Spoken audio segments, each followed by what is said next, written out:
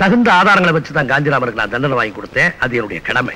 மத்தபடி தனிப்பட்ட முறையில காந்திராம் மேல எனக்கு எந்த குரோதமோ விரோதமோ கிடையாது. சமுதாயத்துல ரெண்டு பிரிவுகள் இருக்கு. சட்டத்தை மதிச்சு நடக்கிறவங்க மீறி நடக்கிறவங்க. மீறுறவங்களை தண்டிக்கிறோம் மதிக்கிறவங்களை பாதுகாக்கிறோம். சட்டத்தை ஏமாத்துறவங்களையும் பாதுகாக்கிறீங்களே. அது எப்படி? நீங்க தலையும் இல்லாம வாலும் இல்லாம பேசுறீங்க. அப்படிப்பட்ட சமூக துரோகிகளை தகுந்த ஆதாரத்தோட அடையாளம் காட்டினா அவங்க யாரா இருந்தாலும் சரி கடுமையான நடவடிக்கை எடுக்க தயங்க மாட்டோம். யாரா இருந்தாலுமா? என் தாயா இருந்தாலும் சரி. ஏழைகளுக்கு அள்ளி கொடுக்கிற வள்ளல் தங்க புத்துல குடியிருக்கிற அஞ்சு தல நாகம் ஷீலாவின் உயிரை குடிச்ச ஓனாய். உங்கள் நண்பன் பிரபுதாஸ். அதிக பிரசங்கித்தனத்துக்கு ஒரு எல்லை வேணும். எனக்கு நீதி வேணும். அவன் தான் உண்மையான கொலகாரன். அதை என்னால நிரூபிக்க முடியும்? இதோ புது ஆதாரங்கள் இருக்கு. பழைய பாத்திரத்தை புளிய போட்டு தேய்ச்சா புது பாத்திரம் ஆயிடுமா? இப்படி ஓமானம் சொல்லி உதாசீனப்படுத்தாதீங்க. தயவு செய்து இந்த பெட்டிஷனை படிச்சு பாருங்க. நீங்க வக்கீலுக்கு படிச்சவர்ங்கிறதுனால எப்பவும் பெட்டிஷனை கையில தூக்கிட்டாலே இருக்க விளையாட்டு கூட பிரபுதாஸ் கெட்டவர்னு வெளியே சொல்லிடாதீங்க. நான் மாத்திரம் இல்ல இந்த ஊர் ஜனங்களே உங்களை ஒரு மாதிரியா பார்க்க ஆரம்பிச்சிருவாங்க. உங்களுக்கும் இந்த ஊருக்கும் வேணும்னா அவன் உத்தமனா இருக்கலாம். ஆனா எனக்கு தெரியும் அவன் நல்லவன் இல்லை. கூடிய சீக்கிரமே அவன் சுயரூபத்தை அம்பலப்படுத்தாம விடமாட்டேன். நான் எடுக்க போற நடவடிக்கையினால உங்க உத்தியோகத்துக்கு ஏதாவது ஊனம் ஏற்பட்டுச்சுன்னா அதுக்கு நான் பொறுப்பில்ல வரேன். மிஸ்டர் ராஜேஷ். என்ன. சட்டம் ஒழுங்க பாதுகாக்க வேண்டியது எங்க கடமை. அதுக்கு குந்தக வர்ற மாதிரி நீங்க நடந்துக்கிட்டா சமாளிக்க முடியாத தொல்லைகளை நீங்க சந்திக்க வேண்டி வரும். அது மட்டும் இல்ல பேரோடும் புகழோடும் வாழ்ந்துட்டு இருக்கிற பிரபுதாஸுக்கு களங்க ஏற்படுத்துற வகையில ஏதாவது காரியங்களில் நீங்க ஈடுபட்டா அடுத்த நிமிஷமே நீங்க கம்பி எண்ண வேண்டி வரும். உங்க அடுத்த கட்ட நடவடிக்கை என்ன?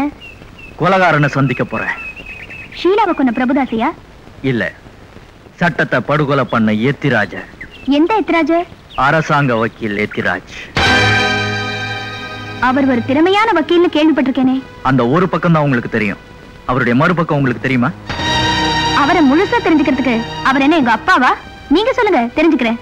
போலீஸ் என் தந்தைய குற்றவாளியாக்குச்சு. எத்திராஜ் அவரை கொலகாரனாக்கிட்டான். காவல்துறையினர் கொடுத்த ஆதாரங்களை வச்சுதானே அவர் வாதாடி இருப்பாரு பாதிக்கப்பட்டது உங்க அப்பாங்கிறதுனால சர்க்கார் வக்கீல சாடுறது நாகரிகமா தெரியல. அந்த கெட்டிக்கார வக்கீலுக்கு ஒருவேளை உண்மையான கொலகாரன் யாருன்னு தெரியாம இருந்திருக்கலாம். ஆனா காந்திராமன் நிரபராதின்னு நிச்சயம் தெரிஞ்சிருக்கும். எதை வச்சு அப்படி சொல்றீங்க? தடுமாற்றமான சாட்சியங்களையும் பலகீனமான தடயங்களையும் வச்சுத்தான் இந்த வழக்கு ஜோடிக்கப்பட்டிருக்குன்னு சட்ட வாசனையுள்ள எந்த சராசரி வக்கீலும் சொல்லிடுவான். எத்திராஜ் ஒரு சட்ட மேதையாச்சே. அந்த மேதாவிக்கு மட்டும் இந்த உண்மை தெரியாமலா போயிருக்கும்? அரசாங்க வக்கீல் ஒரு அப்பாவிய பழி வாங்க வேண்டிய அவசியம் என்ன? அவங்களுக்குள்ள முன்விரோதம் ஏதாவது உண்டா? இந்த எத்திராஜ் ஒரு வக்ரபுத்தி படைச்சவன். அவன் நீதிக்கு முதல் எதிரி. தண்டனைக்கு உயிர் நண்பன். அதனால எங்க அப்பாவை தூக்கு மேடைக்கு அனுப்புனான்.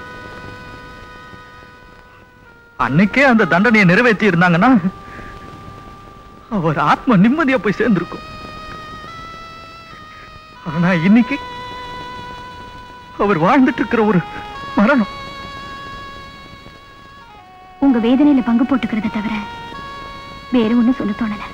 இப்பவே அந்த எத்திராஜ சந்திச்சு பிரபுதாசன் கொலகாரங்கிற உண்மையை சொல்ல போறேன். பாவம் செஞ்சவன் தான் அதுக்கு பரிகாரம் சொல்லணும். பரிகாரம் கிடைக்கலன்னா?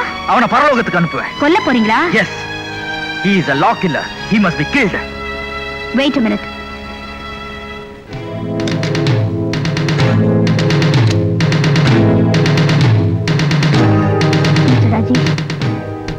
என்னுடைய கை துப்பாக்கி. தற்காப்புக்காக வச்சிருக்கேன் தர்மத்தை காப்பாத்துறதுக்கு பயன்படட்டும். எடுத்துக்கிட்டு போங்க.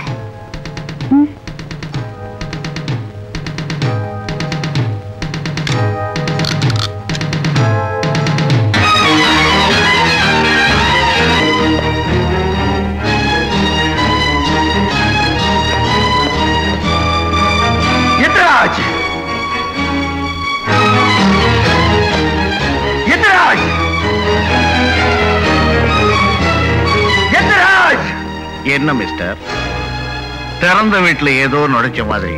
முன் அனுமதி இல்லாம என் வீட்டுக்குள்ளேயே நுழைச்சு குட்டிச்சவருக்கு பக்கத்துல ஒதுங்கி இருக்கிற பிராணிய போல என் பேரை ஏலம் விட்டுக்கிட்டு இருக்கியே வாட் யூ மீன் எனக்கும் பேச தெரியும். அந்த அளவுக்கு என்னை தாழ்த்திக்க நான் விரும்பல. பரவாயில்லையே. நடந்துக்கிறது அநாகரிகமா இருந்தாலும் பேச்சு நாகரிகமாவே இருக்கு. வந்த விஷயத்த சொல்றீங்களா? யாரான மிஸ்டர் ப்ராசிக்யூட்டர் உங்க கைங்கரியத்தினால ஒரு நிரபராதிக்கு இழைக்கப்பட்ட அநீதிக்கு தீர்வு காண உங்களை தேடி வந்திருக்கேன். நீ ஒரு ஆயுள் கைதியின் மகன். அது எனக்கு தெரியும். உன்னுடைய நடமாட்டமும் நடவடிக்கைகளும் என் கவனத்துக்கு வந்துகிட்டு தான் இருக்கு. பன்னிரெண்டு வருஷத்துக்கு முன்னால தீர்ப்பு சொல்லப்பட்ட ஒரு வழக்கை பத்தி இப்ப நீ என்கிட்ட வீழ்வம்பு வழக்கம் வந்திருக்கேன்? அந்த வழக்குல சில சந்தேகங்கள் இருக்கு. அதை நீங்க கேட்கணும். இந்த வழக்கை மறு விசாரணைக்கு கொண்டு வரணும்னு நீ தாக்கல் செய்த மனுவை அன்னைக்கு சட்டசபையில உள்துறை மந்திரி நிராகரிச்சிட்டாரு. அவர் ஒரு அரசியல்வாதி எப்படி வேணாலும் பேசலாம். ஆனா நீங்க ஒரு சர்க்கார் வக்கீல். அப்படி பொறுப்பில்லாம நடந்துக்க முடியாது. பாதிக்கப்பட்டவங்களுக்கு நியாயம் வாங்கி தர வேண்டியது உங்க முக்கிய கடமை. குற்றவாளிகளுக்கும் தண்டனை வாங்கி கொடுக்க வேண்டியது என் கடமை தான். எங்க அப்பா மேல சுமத்தப்பட்டது வீண் பழி. அதை நீங்க தெரிஞ்சுக்கிட்டீங்கன்னா அந்த நல்லவருக்கு ஏற்பட்ட அதர்மம் புரியும். எப்படியாவது காப்பாற்றணுங்கிற கட்டாயத்துக்கு நீங்களே வருவீங்க. காந்திராமனை நிரபராதின்னு ஒத்துக்கிறதுக்கு இன்னும் என் புத்தி மழுங்கி போகல. அத்தைக்கு மீச முளைக்கட்டும். அப்ப பாப்போம். இப்படி ஏதாவது பழமொழியை சொல்லி நீங்க பண்ண தப்ப மறைக்க. பாக்கலாம். உங்களை மன்றாடி கேட்டுக்கிறேன். தயவு செய்து முறையிட்டு கேளுங்க.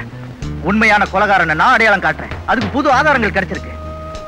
உங்க அதிகாரத்தை பயன்படுத்தி அரசாங்கத்துக்கு ஒரு வரி எழுதினா போதும். குற்றவாளி பிடிபடுவான் அனுபவிச்சு வரும் அவதியிலிருந்து எங்க அப்பா விடுபடுவாரு.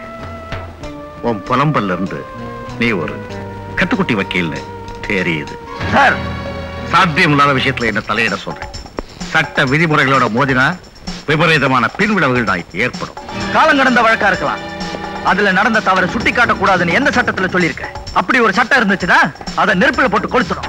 அஸ்திவாரத்துல ஒரு கல் கோடலா இருக்குங்கிறதுனால கட்டடத்தையே இடிக்க சொல்றியா? அஸ்திவாரமே கோணமானலா இருக்கும்போது அதை இடிச்சுட்டான் ஆகணும். இந்த மாதிரி மைதான பேச்செல்லாம் எனக்கு பிடிக்காது. மரியாதையா இடத்த காலி பண்ணு. என் பிரச்சனைக்கு முடிவு தெரியாம நான் இந்த இடத்தை விட்டு போக மாட்டேன். நீ படிச்சவனா இருக்கேன்னு பாக்குறேன். இல்ல நான் கழுத்தை பிடிச்சு வெளியே தள்ள சொல்லியிருப்பேன். Please get out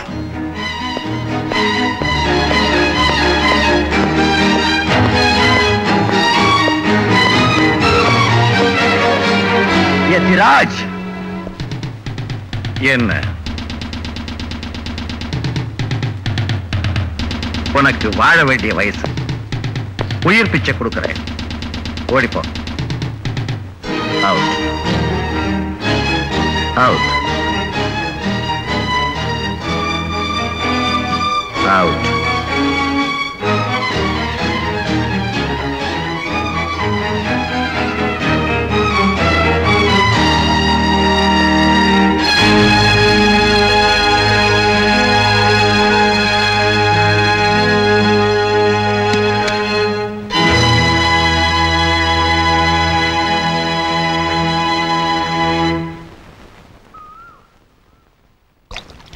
Rajesh?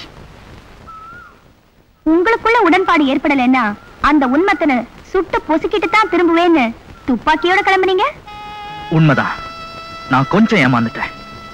அவன் முந்திக்கிட்டான்.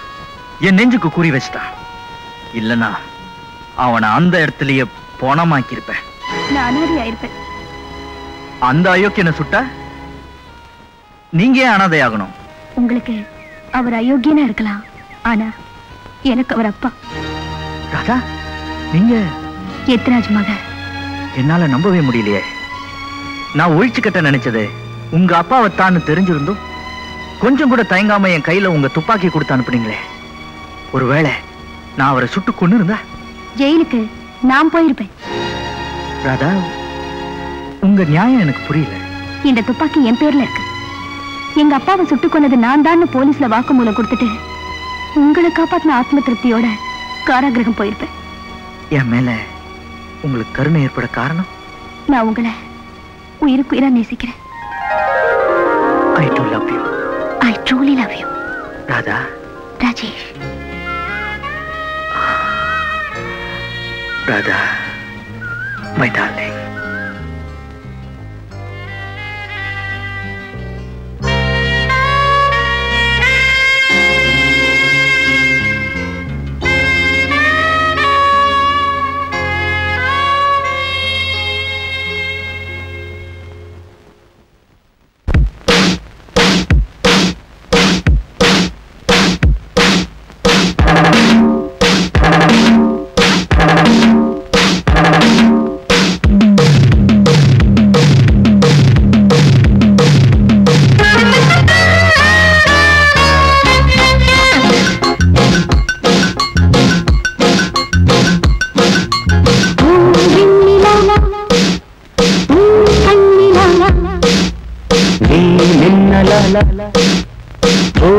பூந்தென்றலா இனிய சொர்க்கத்தை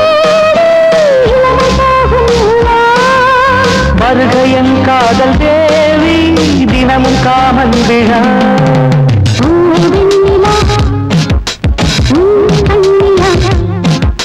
நீ மின்னலா இனிய சொர்க்கத்தை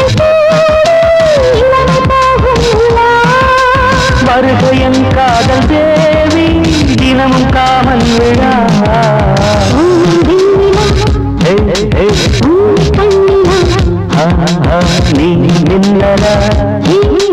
ஓ வெண்ணிலா,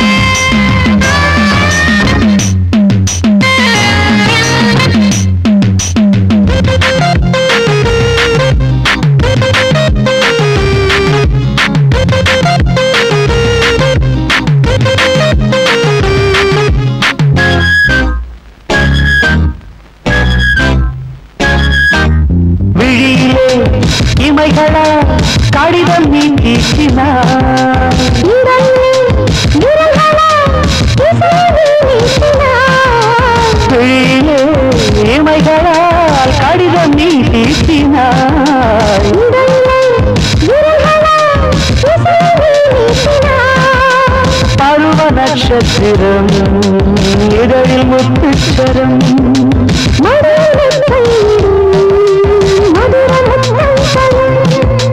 மாலையில் சரச லீலையில் மதன மந்திரம் சொல்லலாம் நெஞ்சுமே கொள்ளலாம்.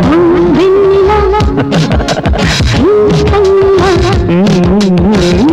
மின்னலா பூந்தென்றலா வருகையின்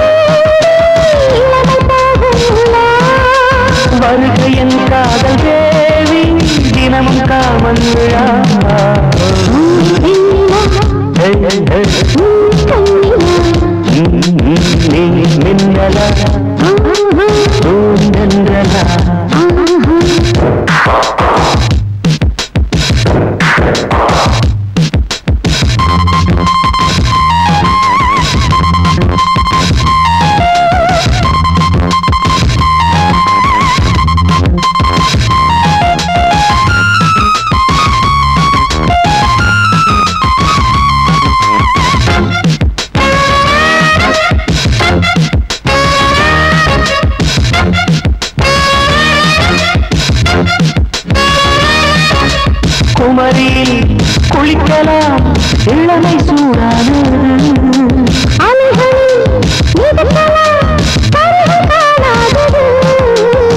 குமரியில் குளிக்கலாம் இளமை சூடானது.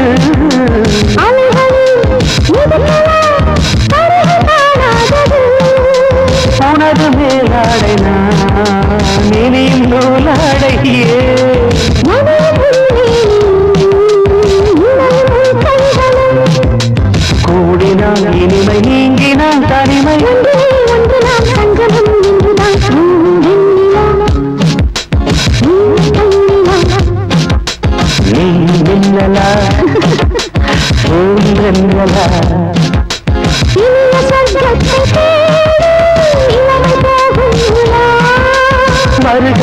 காதல் தேவி தினமும் காமன் விழா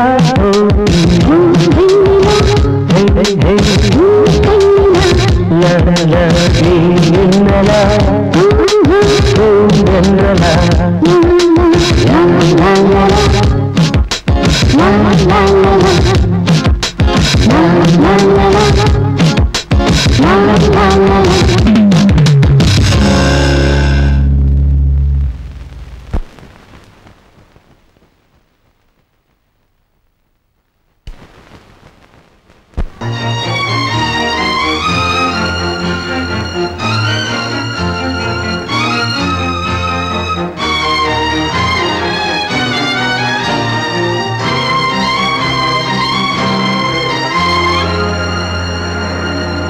சத்தியம் ஜெயிக்கும்னு அண்ணல் காந்தியடிகள் சொன்னார். அந்த நம்பிக்கையில உங்ககிட்ட ஒரு உண்மையை சொல்லணும்னு நான் உங்க முன்னாடி நிக்கிறேன். என் பேர் ராஜேஷ். எங்க அப்பா பேர் காந்திராமன்.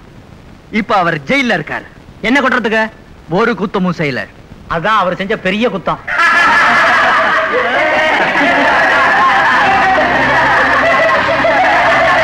திருப்ப நிறுத்துங்க அந்த ஆளு என்னதான் சொல்றான்னு கேட்போம்.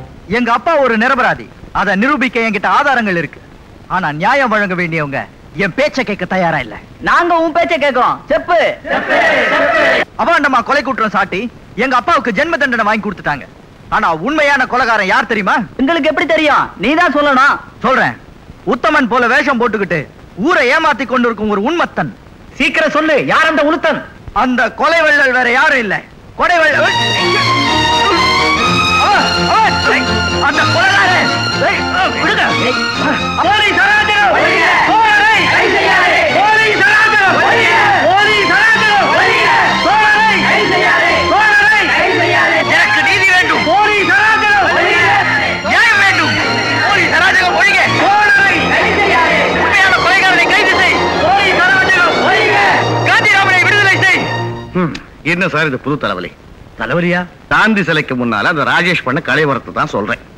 இப்படி ஏதாவது ஏடா குணமா பண்ணுவான்னு எனக்கு தெரியும். அதனால தான் அவனை ஊரை விட்டு விரட்ட சொன்னேன். நீங்க கேட்கல. ஒழுங்கா ஊருக்கு போய் சேர்ந்து அவனை மிரட்டினேன். ஆனா அதுக்கெல்லாம் மசிகிற ஆளா தெரியல. நேத்து பிஸியான நேரத்துல ரோட்ல போக்குவரத்துக்கு இடைஞ்சல் பண்ணிருக்கான் பீச்ல சட்ட விரோதமா கூட்டத்தை கூட்டி போலீஸுக்கு எதிராக பொதுமக்களை தூண்டி விட்டுருக்கான். இருக்கிற செக்ஷன் எல்லாம் அவன் பேர்ல போட்டு கோர்ட்ல நிறுத்தி ஒரு ஆறு மாசம் உள்ள தள்ளிடுவான். அவனை நீதிமன்றத்துல நிறுத்தி தண்டனை வாங்கி கொடுத்து நமக்கு என்ன பிரயோஜனம்? பிரச்சனை நிரந்தரமா தீராது. உங்க எண்ணத்தை வெளிப்படையா சொன்னா செயல்படுறதுக்கு சௌரியமா இருக்கும். அந்த பையனை ஒரு திறமையான டாக்டர்கிட்ட காமிச்சு புத்தி பேலிச்சு போறவங்களை மட்டும் பரிவோடு கவனிச்சுக்கிற கருணை இல்லத்துல சேர்க்கணும். யாராவது ஒரு டாக்டர் ராஜேஷ் ஒரு பைத்தியக்காரன்னு எழுத்து மூலமா உறுதிப்படுத்தணும். அப்படி ஒரு சர்டிபிகேட் வாங்குறது ரொம்ப சுலபம். அவன் பொது இடத்துல நின்று ரகலை பண்ணியிருக்கான். எந்த ஒரு சராசரி மனுஷனும் இப்படி நடந்துக்க மாட்டான். நமக்கு இன்னொரு சாதகமான விஷயம் அவங்க அப்பா ஒரு பைத்தியக்காரன். இது ஒரு பரம்பரை வியாதின்னு சொல்லி டாக்டரையும் நம்ப வச்சிடலாம். நல்ல ஐடியா அவனை எப்ப கோர்ட்ல ஆஜர்படுத்த போறீங்க? நாளைக்கு காலையில தான். ஒருவேளை அவன் பெயில்ல வெளியே வர முயற்சி பண்ணான்னா பத்தாயிரம் ரூபாய் குறையாம ஜாமீன் தொகை கட்ட சொல்லணும். நம்ம அசிஸ்டன்ட் ப்ராசிக்யூட்டர் கிட்ட சொல்லி கோர்ட்ல வலியுறுத்த சொல்லுவோம். அவனால அவ்வளவு பெரிய தொகையை கட்ட முடியாது. அவனை காவல்ல வச்சிடலாம். ஜெயிலுக்குள்ள இருக்கும் போதே அவனுக்கு பைத்தியம் பிடிச்சு போச்சுன்னு டாக்டர் சர்டிபிகேட் வாங்கிடலாம். நீங்க சொன்ன மாதிரி சுகாதார நிலையத்துக்கு நிரந்தரமா அனுப்பிடலாம். கரெக்ட் வாங்க உட்காருங்க. நீங்களே நேர்ல வந்து என்ன ஜாமீன்ல எடுப்பீங்கன்னு நான் கனவுல கூட நினைக்கல. அம்மா குணமே அதுதான். விளம்பரத்துக்கு ஆசைப்படுறது இல்ல ஓசப்படாம உதவி செய்வாங்க. நான் என்ன அப்படி பெரிய உதவி செஞ்சுட்டேன்? ஏன் இப்படி முகஸ்துதி பண்றீங்க? முதல்ல அதை நிறுத்துங்க. இதோ பா ராஜேஷ். உங்க அப்பாவுக்கு இழிக்கப்பட்ட கொடுமையை பொதுமக்களுடைய கவனத்துக்கு கொண்டு வரணும்னு நீ துடிக்கிற. ம். உன் வேகம் எனக்கு புரியுது. ஒரு உண்மையை நீ தெரிஞ்சுக்கணும். தனி மரம் தோப்பாகாது. ஆனா தனி மனிதன் ஒரு தோப்பை உருவாக்க முடியும். அதுக்கு உங்க மாதிரி நல்லவங்களுடைய ஒத்துழைப்பு தேவை. என்னுடைய ஆதரவு உனக்கு என்னைக்கும் உண்டு? நான் என்ன செய்யணும்? சொல்லு. உங்க பத்திரிக்கை மூலமா நான் மக்களை சந்திக்கணும். புரியுது. உங்க பிரச்சனைய மூல முடுக்கெல்லாம் பேச வைக்கணும். அவ்வளவுதானே? ஆமா. அதுக்கு உன்னுடைய உதவியும் தேவை. எங்க அப்பாவுக்கு ஒரு விடுவு காலம் பிறக்கிற வரைக்கும் இந்த வழக்கு சம்பந்தப்பட்ட உண்மைகளை நீதி தராசு பத்திரிக்கையில நீதான் எழுதணும். ராதா புரியுதா? அவர் அப்பாவை காப்பாத்துறதுக்கு உன் அப்பாவை காட்டி கொடுக்க சொல்றாரு. சத்திய சோதனைய சந்திக்க போறியா? இல்ல சைடு வாங்க போறியா? சந்திக்க போறேன். குட் தேங்க்ஸ்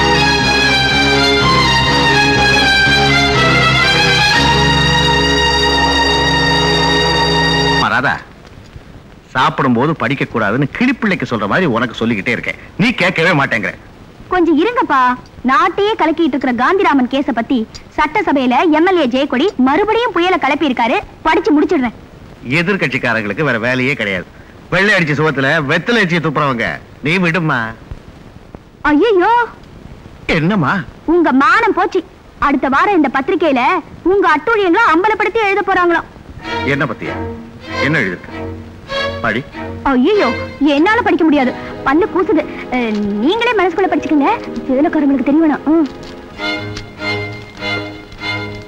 அழகி ஷீலா கொலை வழக்கு ஆறாவது தொடர். அரசாங்க வக்கீல் எத்திராஜ் இந்த கொலை வழக்கில் ஒரு கோடீஸ்வர பிரபுவை காப்பாற்றிய மர்மம். பயிரை எழுதும் திடுக்கிடும் சம்பவங்கள் நிறைந்த உண்மை கதையின் தொடர்கட்டுரை படிக்க தவறாதீர்கள். யாருப்பா அந்த வைரி?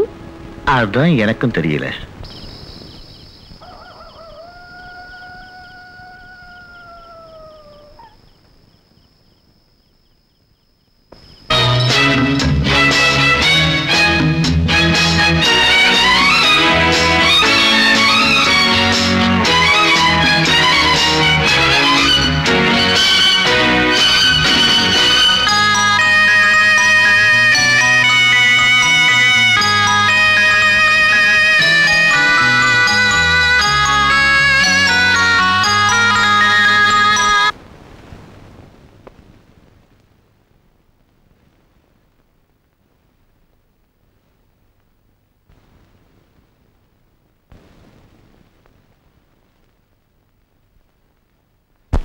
உங்க அப்பா புத்தி தெளிஞ்சு குணமடைஞ்சிட்டு வர்றாருங்கிற செய்தியை கேட்கும்போது ரொம்ப மகிழ்ச்சியா இருக்கு.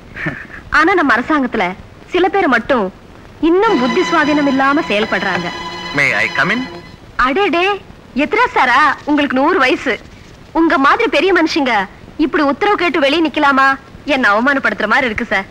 உள்ள வாங்க சார். ரொம்ப நன்றி. அடடே வக்கீல் தம்பியா? நான் உங்களை எதிர்பார்க்கவே இல்லை. என்ன நீங்க ஊர்ல தான் இருக்கீங்களா? ம் ஊர்ல தான் இருக்கேன். நான் இன்னும் உயிரோட தான் இருக்கேன். தம்பி எழுத்தாளரா இருக்க வேண்டியவர். தலையெழுத்து வக்கீல் தொழிலுக்கு வந்துடுச்சு. நேத்து ராத்திரி உள்துறை மந்திரியோட நான் ஒரு மணி நேரம் பேசிட்டு இருந்தேன். அவர் ரொம்ப பெருந்தன்மையான மனுஷன். பரந்த உள்ளம். நம்ம ராஜேஷ் அப்பாவோட சிக்கலான வழக்குல மனிதாபிமானத்தோட தலையிட்டு நல்லது செய்யணும்னு மனசார நினைக்கிறாரு. காலையில நான் ரேடியோ கேட்டேன். இன்னைக்கு மழை வரும்னு வானிலை அறிக்கையில சொல்லவே இல்லையே. அதானே. ப்ராசிக்யூட்டர் சொல்றத பார்த்தா இடிமின்னலோட பேய் மழை வரும் போல தெரியுதே. அஞ்சு வரலும் ஒன்னாவா இருக்கு. அப்படித்தான் அரசியல்வாதிக குணமும். இப்ப நான் ஒரு நல்ல திட்டத்தோட வந்திருக்கேன். நமக்குள்ள ஒரு உடன்பாடு ஏற்பட்டு போச்சுன்னா இந்த விவகாரத்தை சண்டை சச்சரவு இல்லாம முடிச்சிடலாம். உங்க திட்டம் என்னன்னு முதல்ல சொல்லுங்க. ஒப்பந்தத்துல கையெழுத்து போடுறத பத்தி அப்புறமா யோசிக்கலாம். இந்த வழக்கு சம்பந்தமா உங்க பத்திரிகையில வெளிவந்துட்டு இருக்கிற தொடர் கட்டுரைகளை நிறுத்திட்டீங்கன்னா ஆயுள் கைதி காந்திராமனுக்கு மன்னிப்பு வழங்கி உடனே விடுதலை பண்றதா உள்துறை மந்திரி எங்கிட்ட வாக்குறுதி கொடுத்திருக்காரு. உங்களுடைய யோசனையே நாங்க ஏத்துக்க தயாரா இல்ல. என்ன காரணம்? முதல் காரணம் எங்க முற்போக்கு பத்திரிகைக்கு மக்கள் மத்தியில மதிப்பும் மரியாதையும் இருக்கு. உங்க சுயநலத்துக்கு உடன்பட்டு நாங்க சோரம் போக விரும்பல. ரெண்டாவது காரணம் ஒரு நிரபராதியை யாரும் மன்னிக்க வேண்டிய அவசியம் இல்லை. சமாதானத்துக்கு ஒத்து வர மாட்டேங்கிறீங்க. அனாவசியமா அரசாங்கத்தோட மோதி என்ன சாதிச்சிட போறீங்க? காந்திராமனுக்கு நிபந்தனை இல்லாத விடுதலை வாங்கி தரணும். பாரபட்சம் இல்லாத விசாரணை நடத்தி அவர் அநியாயமா தண்டிக்கப்பட்டதுக்கு காரணமா இருந்தவங்களை பொதுமக்களுக்கு அடையாளம் காட்டணும் நீதிக்கு முன்னாடி நிறுத்தணும். மன்னிக்கணும். நீங்க ரெண்டு பேரும் பாதாளத்துல நின்னுகிட்டு ஆகாயத்தோட ஆசைப்படுறீங்க. உங்க நன்மைக்காக மறுபடியும் சொல்றேன்.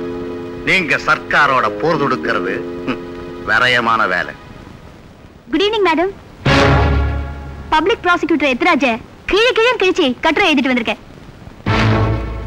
மேடம் இதுல ஒரு வேடிக்கை என்ன தெரியுமா? நான் தான் வைரிங்கிறது எங்க அப்பாவுக்கு தெரியாது. இப்ப தெரிஞ்சிருக்கும். நீங்க ஒண்ணு அவர் என்ன என் முதுகு பின்னாடியே நிக்கிறாரு? தெரிஞ்சுக்கிறதுக்கு வாசிக்கிறேன் கேளுங்க. ராதா பகல்ல பக்கம் பார்த்து பேசணும்னு ஒரு பழமொழி இருக்கு. ஆமா எதுக்கும் ஒரு தடவை நாலா பக்கமும் பார்த்துட்டு படி. திரும்பி பாக்குற பழக்கம் எங்க பரம்பரையிலேயே கிடையாது. வேணும்னா எங்க அப்பாவை போன் பண்ணி கேளுங்க. தேவையே இல்ல. கூப்பிடுற தூரத்துல தான் இருக்காரு. நேரடியாவே கேட்டுக்கலாம். என்னது? பக்கத்துல தானே உங்க வீடு இருக்கு? எப்பாவது பாக்கும்போது கேட்டுக்கலாமேன்னு சொல்றாரு. இல்லையா ராஜேஷ்? அதேதான். அப்படியா? சரி கட்டுரையை படிக்கிறேன் கேளுங்க. ராதா. ஷோ யாரும் குறுக்க பேசக்கூடாது. மூணு நாளா உட்கார்ந்து என் மூளையை பிழிஞ்சு இதை எழுதியிருக்கேன். என் மூளை கெடுத்துறாம வாயை மூடிக்கிட்டு மௌனமா கேளுங்க. அன்று சாதாரணமாக ஓட்டை சைக்கிளில் கோர்ட்டுக்கு போய் வந்த எத்திராஜ் திடீரென்று மேட்டுக்குடி மகனாக மாறிய மர்மம். அதற்கு ஒரு கோடீஸ்வரனின் நோட்டுக்கட்டுகள் கைமாறியதுதான் காரணம் என்று தெரிய வருகிறது. கல்லால் அடித்து கொல்லப்பட வேண்டிய கொலைகாரனுக்கு பல்லாக்கு தூக்கிய ப்ராசிக்யூட்டர் எத்திராஜ் ஒரு பொதுஜன விரோதி. நீதியின் தோழனாக பணியாற்ற வேண்டிய எத்திராஜ் எப்படி இந்த வழக்கில் யமனின் தூதனாக இயங்கினார் என்பதை புள்ளி விவரத்தோடு பொதுமக்களுக்கு விளக்குவதுதான் இந்த கட்டுரையின் நோக்கம். ஆயிரத்தி தொள்ளாயிரத்தி எழுபதாம் வருஷம் செப்டம்பர் மாதம். பிரமாதம்.